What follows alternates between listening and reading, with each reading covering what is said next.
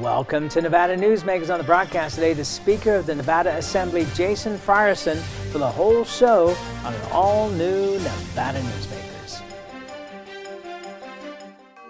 The holidays are upon us, a time of celebration, family gathering, and gratitude. There are gifts to be wrapped, feasts prepared, love shared, and memories made. Life is precious, so let us cherish each other and all that we have. We're the Retail Association of Nevada. We thank you for letting us enrich your lives and thank you for your support throughout the year. Happy holidays. ranv.org. Hello, is this D&D Roofing? Yes, it is. How may I help you? You did such a great job on my roof. May I speak to the owner? I am an owner. Oh, can I speak to your supervisor? Sure. How may I help you? I love your work. May I speak to the owner? I am an owner. We're all owners. Well, that's why at D&D we work so hard to keep your home safe and sound. Oh, no wonder. D&D Roofing and Sheet Metal. Local, employee-owned, here for you. Pro Group Management offers workers' comp services to a growing number of industries. As businesses grow and change with the times, the need for a solid workers' comp program must be flexible and up to date. The evolving nature of regulations can make staying ahead of complex tasks challenging. But Pro Group Management simplifies the work so your industry can move forward and succeed. Pro Group Management. Workers' comp that works for you. Truck drivers are some of the hardest working people you'll meet, delivering over 70% of America's freight and 92% of Nevada's. When there's a natural disaster, they're delivering critical supplies to help those communities recover and rebuild. Every sector of the economy and our nation's military rely on truck drivers. So let's take a moment to say thank you. On the open road or city streets, our truck drivers are rolling to make our economy and our nation stronger. Trucking moves America forward. Nevada Newsmakers tapings in Las Vegas are brought to you by the Las Vegas Metro Chamber of Commerce. This is Nevada Newsmakers with host Sam Shad, a no holds barred political forum. Now, from the Nevada Newsmakers broadcast headquarters, here is Sam Shad. And back on Nevada Newsmakers, we're absolutely delighted to welcome back to the program the Speaker of the Nevada Assembly, Jason Frierson. Pleasure to have you back on the program, sir. Uh, thank you for having me. Um, let's start out with um, a political action committee uh, led by former Attorney General in 2018 Republican gubernatorial nominee Adam Laxalt last month called for a special session of the legislature to bring about more cooperation between law enforcement and ICE. What are the chances, if any, of a special session to deal with this? Well, I don't. I don't think that there's a problem to be solved. Uh, we have a limited amount of resources to govern and lead this state, and I'm working with the elected governor uh, to do just that. And so, to the extent that we need to address uh, other problems, especially in an unusual circumstance as a special session, we're going to focus on uh, actual problems in Nevada: public funding um, for education and healthcare, uh, mental health. Uh, these are things that, that we, we combat every day, and these are real problems that we're trying to solve.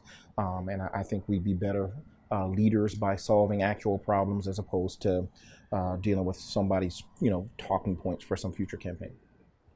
Um, uh, good point there, sir.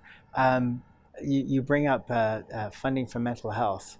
Um, we just had Carolyn Goodman on the program, and obviously, as mayor of Las Vegas, she is working very hard on the problem of homelessness mm-hmm. uh, in the city of Las Vegas and trying to use that as a model for other communities. Um, as you look at funding for mental health, are we even close to having enough funding, or how much more do you think we need? Well, we're not. We're certainly not close to having what we need to address our community's needs. Uh, I, I, don't think um, uh, that you know we have a number of exactly what we need, but I know that we're far behind addressing uh, mental health, and I, I think that uh, mental health uh, issues are part of our problem with homelessness. Um, I, in an ideal world, uh, partners would come together and collaborate and talk about how to solve a problem, I think, in a more collective manner. Um, I, am not entirely uh, sure that the legislature is comfortable with, with further criminalizing uh, homelessness in light of the fact that we are underfunding uh, mental health services uh, as it is. I'm not entirely sure this is going to help solve the problem, but it's certainly something that we have to talk about uh, and I think come together collaboratively. When I say collaboratively, I mean cities, counties, state, legislature, and policy. Uh, if someone had come to us and said for next session, can we talk about funding some programs to help deal with the homelessness problem, uh, you would have found, uh, uh, you know, a, a, a welcomed ear. So, so at this point, this is an invitation to Mayor Goodman to come talk to you. Uh, well, yeah, I think the mayor and I have a, have a fine relationship, as as I do with uh, several members of the city council. Um, but I, I, I, do think that in order to really address this problem, uh, it's going to have to be a collective conversation. Um, and, and, when you look at the scheme of things that the state has to deal with, um, it's obviously becoming a bigger and bigger problem in Southern Nevada, in Las Vegas. It's also becoming a bigger problem in Northern Nevada as well. So, what are the responsibilities of the legislature towards this? Well, I mean, I, th- I think that we have to shepherd good, strong policy for the state, but we also recognize that local governments have a unique op- opportunity to address uh, the needs that are specific to, to their communities. Uh, we have uh, extremely hot summers down here in southern Nevada, uh, extremely cold winters here as well, but we don't have snow uh, like they do in northern Nevada. Uh, those are the kind of things that will impact uh, shelter opportunities and uh, mobility opportunities to go seek out services. So I, I, think that we have to provide an overall structure that invites um, a conversation about solutions, but those solutions are going to be uh, I think on a community by community basis. Uh, but again, you know, this is a collective conversation that we need to have, and I don't think that we can uh, do that piecemeal. I think that we're going to have to come together and talk about how to address these needs statewide. Um, as you look at uh, cities and counties, uh, they've been struggling for years now because of the property tax caps. Do you see a point in time where the legislature is going to address property tax caps and perhaps change them? Or is that something that if you did change them, um, everybody who changed them or voted in favor of it would be not reelected the following year? Well, I, I think that the conversation is is is uh, bigger than property tax caps. I think that our property tax structure uh, is something that uh, we look at every session, every two years, and we're going to continue to look at it. Uh, it's not just caps. We we don't have a bottom. We don't have a floor. So when uh, the real estate market uh, crashed, uh, we didn't stop needing emergency rooms and we didn't stop needing public schools, yet the funding stream for those services uh, would decrease far below what we would need to provide those services. So I think we have to have a conversation about uh, making sure that our, our, property tax structure is stable so that we can withstand any future uh, economic crash. Uh, a, a, lot of folks are talking about, uh, you know, a, a, future economic downturn in one way or, or another, and we have to be prepared for that. But we still need to be able to provide our basic services. So, the, to the extent that it's a, a conversation about property tax uh, globally, I think we do need to have that conversation. But it's not just a function of raising anybody's taxes. It's not just a function of uh, dealing with the cap as opposed to st- stabilizing the structure so that we all can continue to know what we can expect to, to bring in. Um, and when you look, you know, we, we have a split in the, the tax space between uh, businesses mm-hmm. and, and personal property, which, you know, a lot of us think is, uh, you know, unconstitutional to even begin with, but who's going to argue about that? Because everybody's taxes would go up if uh, it was declared unconstitutional. Um, but would you see um, in, in a future discussion on property tax um, that, that it would be you know even that that both uh, entities would be paying the same. I don't know if that's realistic. I think that um, we're going to have to have a conversation again. We have a citizens legislature. The, the the the the challenge with a citizens legislature is we all have day jobs and we only meet for 120 days every other session. The benefit of a citizens legislature is we are there to facilitate a conversation amongst people who are on the front lines of these issues. So I think that we need to bring the business community, uh, I think uh, consumer advocates, uh, tax experts together to talk about uh, what's best for Nevada moving forward. And again, I think both from a individual property tax perspective and a business perspective, uh, what we want is uh, consistency and, and reliability. I think that folks want to know what to expect, and uh, we can't continue to have significant shifts in, in, in tax policy that create an environment that I think is uncertain. So, to the extent that we can provide certainty for the long term, that's going to have to be a conversation with, with everybody at the table. Um, th- there's obviously over the last year or two, there's been talk about the coming recession, mm-hmm. and obviously when one looks at an economy, everything that goes up must come down. I mean, that's just uh, part of the nature. Um, but but I'm presuming that you are not anticipating something on the order of what happened in 2008. Well, we certainly hope not, but uh, I think we have to be prepared for whatever might happen. Uh, we have a big election coming up. I think that's going to have a big impact on our, our, our, nation's economy and subsequently the state's economy. Uh, we have to be in, prepared. In what way? In, in, okay, so so let, us dig a little deeper into that. So so in what way? I mean, because uh, with the current president, and, and I'm I'm not talking about party affiliations right. here or right. personalities, but the economy is booming. And the economy in Las Vegas is booming. The economy in Northern Nevada is booming. And if we actually get a lands bill through, um, then we would see even more booming across rural parts of the state. Um, so, you know, if, if if a president takes the heat for a bad economy, mm-hmm. then I think that a president should get the credit for a good economy. So, uh, do you see the um, and, and, and if a Democrat were to become president, it would seem that they would want to continue the policies that are working and that are giving this this great economy versus um, you know, that they would reverse things. I mean, I couldn't imagine that. Well, I mean, you know, this is obviously a national conversation, but uh, I think it, it might be somewhat subjective to in an isolation isolated conversation say the economy is good when we also have to take into account the debt that we're passing on to future generations and and we have to be responsible with that as well. That will come to a head at some point and we will have to pay for it at some point. So uh, to the extent that uh, we are incurring greater debt uh, in order to create, I, th- I, think, the perception that everything is great, uh, we're going to have to, you know, at some point pay some bills. Um, and, and, you know, to what extent we pass that on to the next generation, I think is, is something for policymakers to, to, to, to think about. Uh, but, you know, again, on a state level, uh, we have to be prepared and we don't know what's going to happen. So advocating for one or the other, uh, I don't know, but I know that we have to be ready for the possible change in uh, approach from Washington, D.C.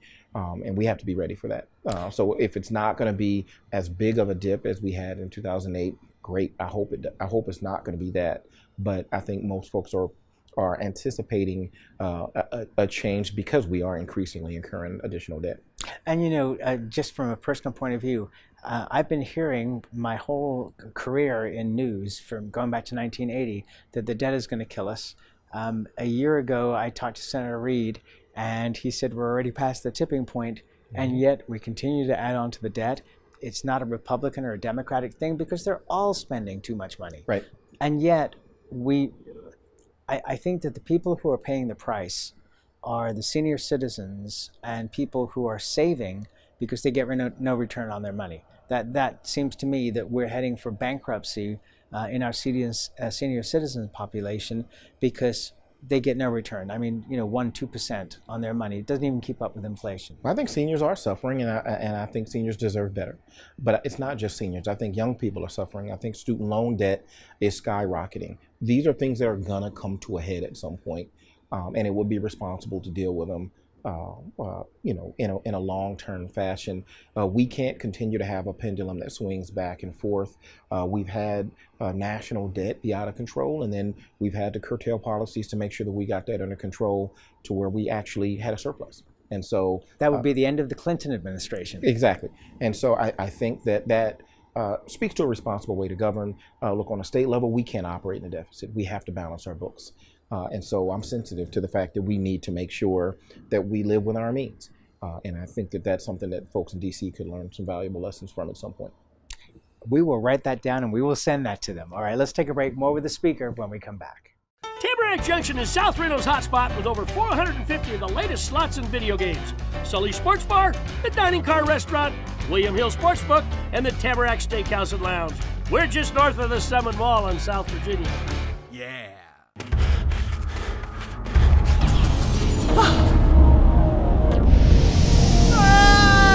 Kenny! Dad? Are you learning? This place is great. Huh? You gotta try this. Wow! This stuff is great! People are gonna love it! Yes. Yes, they will. Hi, I'm Eric Robnett, owner of Home Energy Experts. Has this ever happened to you? Honey, did you remember to turn down the thermostat? Forgetting to set the temperature. not fun. We can help. Our new smart thermostat keeps the temperature set for your comfort all by itself. I'm feeling hot now. To increase your comfort, go to homeenergyexperts.com for details. That's homeenergyexperts.com. The signs and symptoms of cataracts can start out small with subtle changes in your vision. So don't wait. Be proactive and take your vision into your own hands. If you're experiencing the onset of cataracts or just have questions, contact your eye care professional or call Eye Care Associates of Nevada today. Dr. Hiss has years of experience specializing in the surgical correction of eye disorders and has completed over 84,000 vision correcting procedures. At Eye Care Associates of Nevada, we'll change the way you look at the world. The Tamarack Junction Steakhouse is known for signature steaks, handcrafted cocktails, and world-class wines. Join us Thursdays and Friday nights from 4:30 to 6:30 in the Steakhouse Lounge for live music, gourmet plates, and well-priced wines, just north of the Summit Mall on South Virginia. This is Nevada Newsmakers. And back on Nevada Newsmakers, we continue our conversation. An honor to have here the Speaker of the Nevada Assembly, Jason Frierson. Um, you said something in the break here um, that I thought was interesting. Do you want to repeat that? Uh, about the, the tax Yes. taxes. Well, I, I think that um, again we were talking about you know the the strength of the economy, but we also have to recognize that myself and many of my colleagues have had to pay taxes uh, for the first time in their adult life, and when you have the tax burden shifting from uh, uh, spread out to uh, I think the middle class, where you have to be wealthy in order to really be able to accomplish or achieve any type of tax relief, um, that's going to eventually come to a head. And I think folks are going to eventually recognize that when they have to pay taxes, but um, millionaires are, are not paying that, that same level of taxes, um, that they're going to, I think, eventually turn out to make a change. All right, so do you have a concern um, as you see more and more people registering away from Republican and Democrat uh, to independent or nonpartisan? Um, that that that's because people look at Washington D.C. and go, nothing's working. I mean, Republicans have traditionally been one way, Democrats have traditionally been one way, and yet we're seeing the spending go on and the tax base appealing to, to the wealthy. And the other side of that is, of course, that the wealthy can afford to have the best accountants. Right. And if they don't have the best accountants, then they move off to other countries right. with their money. I, I don't know that I'm concerned. I, I believe that my job as speaker, my job as, as assemblyman in District 8 is uh, to reflect uh, my district. And whether they're registered as a Democrat or a Republican or nonpartisan or independent, uh, I think that we have a responsibility to be accessible to those folks and to reflect what uh, they are feeling about policies moving forward. And so I, I don't think that we lose in that way. Uh, I have been passionate about uh, voting reforms and expanding access to the polls so that every eligible voter can vote. And I think uh, so long as we continue to make it uh, something uh, enticing for every single eligible voter, they have an opportunity to vet candidates and vote vote uh, for candidates that reflect their priorities and policy, regardless of their their party affiliation. I think that's a good thing. All right, uh, different topic here. Um, you were a standout running back under uh, Coach Chris Ault for UNR. Um, and according to the Las Vegas Review Journal, UN State Senator Ivana Cancela, who was also on the program a couple of days ago, uh, are in the early stages of putting together a bill together that would allow athletes who play for the state universities to actually benefit from the endorsements, et cetera, which they are not able to at this Right. point, as everybody knows. Uh, would you elaborate? Well, sure. Uh, and it is in the early stages of, of conversations about this. Uh, I played uh, in, a, on a Division One team, and college sports was, was very good to me. I enjoyed it, uh, and it helped me pay for college. Uh, but I do think that uh, there are athletes nowadays whose likenesses are being used. My likeness wasn't used. I wasn't that standout of a running back.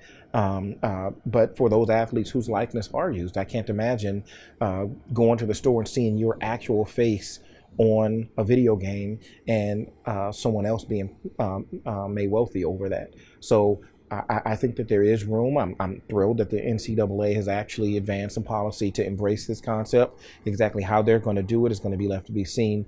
Uh, but there, there are different forms. It, I think a lot of folks automatically assume that uh, college athletes are going to be paid to play, and uh, the concerns about a they're getting you know college uh, tuition paid, but also whether or not that's going to in- influence the game. I don't share the you know the, the, the view that that's the only way. So for uh, athletes that have medical issues after they're done playing, maybe there's a way to set aside uh, funds to make sure that their medical issues, uh, their you know head injury issues, are able to be dealt with in the long term. Uh, there's also an issue of college, college athletes and whether or not they finish college when they're done participating. So maybe uh, there can be funds set aside to make sure that they either finish college or are put on a good career path. Uh, but either way, when you're profiting off of someone else's likeness, I think the NC2A has recognized uh, the need to to move forward in a way that allows them to benefit from that as well. Universities have been benefiting as well as the NC2A, uh, and I think that it's it's it's fair and it makes sense given the sacrifices, uh, not just in playing because it's it was a blessing to be able to play in college, uh, but. Uh, you know, I joke now and say I can run if a dog is chasing me. Uh, I I've had four or five surgeries on knees and shoulders. Um, and these go long beyond your five years of, of uh, active participation in college. So I think that it's it's high time for a conversation. Uh, I think the NC2A is ready, and I'm looking forward to working with uh, Senator Cancela to, to, to work on exactly how we do it in a way that works for Nevada. Okay, more with the speaker when we come back. Dimitri Prine here for Design Outdoor. Come visit Design Outdoor's store and backyard to see our wide selection of fire pits, barbecues, and pizza ovens, natural stone water features and fountains, and frost-proof pottery. Our store and backyard are located at 11600 South Virginia, just north of Damonte Ranch Parkway. Visit designoutdoor.com or call us at 851 9499. I Can't do it. Stupid, like my mom. We can't do anything at Mommy's because you won't pay child support. Dad said you cheated, and he's not even sure he's my dad. Mommy said you left both of us, so she isn't gonna let me see you. I look just like my father. I'm divorce attorney Marilyn York, and I may represent men, but hate has no gender, only casualties. Please stop sacrificing your children in your war against your ex. Hi, I'm Dave Newman. Remember me? I used to be the house detective, and now I'm a realtor full time at REMAX Realty Affiliates. A lot of people ask me, How's the market? You know what? It's fantastic. If you're even kicking around the idea of buying or selling, give me a call. Let's talk about it. Call me at REMAX Realty Affiliates and just ask for the guy who used to be the house detective, Dave Newman. Everyone is talking about opioids, but they're not the only drugs that can be harmful if taken in large quantities or not as prescribed. You also need to be aware of side effects from anxiety drugs, muscle relaxants, sleep aids, and stimulants. Mixing prescription drugs with other drugs or alcohol can be dangerous.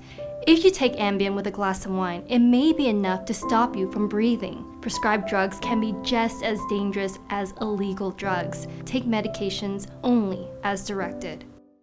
This is Nevada Newsmakers. And back on Nevada Newsmakers, we continue our conversation with the Speaker of the Nevada Assembly, Jason Frierson. So obviously in Northern Nevada, we saw you know, great benefits given to Tesla for the investment that they made. Uh, Steve Hill was on the program, who is former head of GOED, now runs the Convention Authority in Las Vegas, and he was saying how Tesla had exceeded all the uh, numbers that were required mm-hmm. uh, for the benefits that they have gotten from the state. Um, there is, you know, you know um, a lot of business people were not happy with the legislative session. They felt that it was not a good session for business. There are also rumblings now um, that we are not going to see any more Tesla like deals for Northern Nevada, that all of that from the state is going to be pushed to Southern Nevada. A, is that true? And B, why? Well, I, I don't think that that's true. I don't think it's predetermined whether or not um, we're going to be looking at policies that benefit any portion of the state. I lived in Northern Nevada for 10 years, and, and Northern Nevada was very good to me. Uh, and, and so I feel like I have a responsibility to shepherd policy for the whole state. Uh, we do have to balance uh, uh corporate giveaways and whether or not we, in the long term, uh, get uh, a benefit that justifies it. I think there's a concern in the community about how much longer we can do that. But I, I do think that we need to continue to focus on economic development. Uh, I think it's unfortunate that anybody in the business community um, doesn't also acknowledge their seat at the table and the fact that there was a uh, you know uh, effort with minimum wage and other things where they were active participants in the conversation and shaping policies that could have been uh, much further right or left, but but fortunately they were at the table to be able to to, to have you know be heard. And I, I think that that was a productive uh, part of the session that was unexpected, and I think uh, is often overlooked. Um, so, so you, uh, so if a company were to look at a, a billion dollar plus investment in Northern Nevada, um, that you would have no hesitation in a special session if the governor called one uh, to be able to uh, put together funding? Well, there's those are a lot of ifs. Um, if if the governor called a special Right. session, that's a big deal. Um, and so I think that every opportunity we have to advance economic development in our state, we we we have an obligation to uh, assess that and look for it. Uh, but I don't know that a special session is necessarily warranted. Uh, but again, I'd have to uh, look at any particular circumstance uh, as it ar- arose to see whether or not it needed a special session, or we could deal with it at a subsequent session, or if it was even viable for long-term policy. Um, last question. Uh, Raiders Stadium coming. You excited? I'm excited. I was a Raiders fan before uh, the stadium came. I was not in the legislature for the vote in 2015. Uh, I'm not entirely personally thrilled about exactly how it all went down. Uh, but Because- well, it was a special session. I think that there was uh, a lot of concern that that um, uh, I think could have been uh, more thoroughly vetted. Uh, but you know, I, I don't envy the position that those legislators were in. Uh, the stadium is in my district. Uh, I drive past it as it's being developed every day. Uh, I think that it's going to be an exciting addition to the community, uh, and I look forward to uh, having that component come to our community. So, do you feel that the end result was uh, was justified? I, I think it's left to be seen. I don't know that a publicly funded stadium has ever paid for itself, but I also think that there are benefits to having a professional team come to Nevada and to Las Vegas in particular uh, that are great for the community, great for excitement, and uh, great for jobs. And so I think that it's left to be seen. Uh, I'm excited to see where it goes. Mr. Speaker, thank you so much for taking the time to be here. I know how incredibly busy you are, and I look forward to you coming back. Thank you. And we'll be right back. Nevada Newsmakers tapings in Las Vegas are brought to you by the Las Vegas Metro Chamber of Commerce. A bird's eye captures its surroundings at different heights. At Brian Culpa Photography, we can make your imagination soar over buildings, parks, cityscapes, and beyond.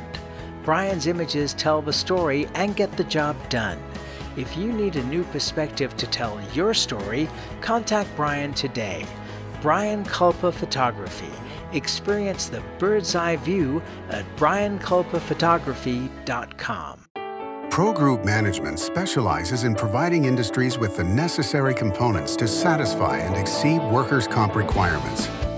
Every business has unique needs and specific regulations. Pro Group Management stays ahead of the curve, providing up-to-date services to keep your industry in top form. Discover how we simplify your tasks, improve efficiency, and reduce expense to keep you moving in a positive direction. Pro Group Management. Workers' comp that works for you. Hi, my name's Marilyn Miner, and I'm sure you'd agree that Nevada's a very special place to live. I was born here, and my husband and I have raised our family here. I feel it's a privilege to live and work in the Truckee Meadows. I especially enjoy helping my clients reach their real estate goals. Sometimes the smallest details provide the greatest satisfaction. I'd be complimented to talk to you about your next move.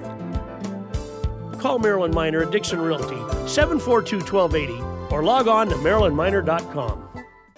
As always, you can watch Nevada Newsmakers 24 hours a day at nevadanewsmakers.com or you can subscribe to our YouTube channel. We'll see you on the next broadcast.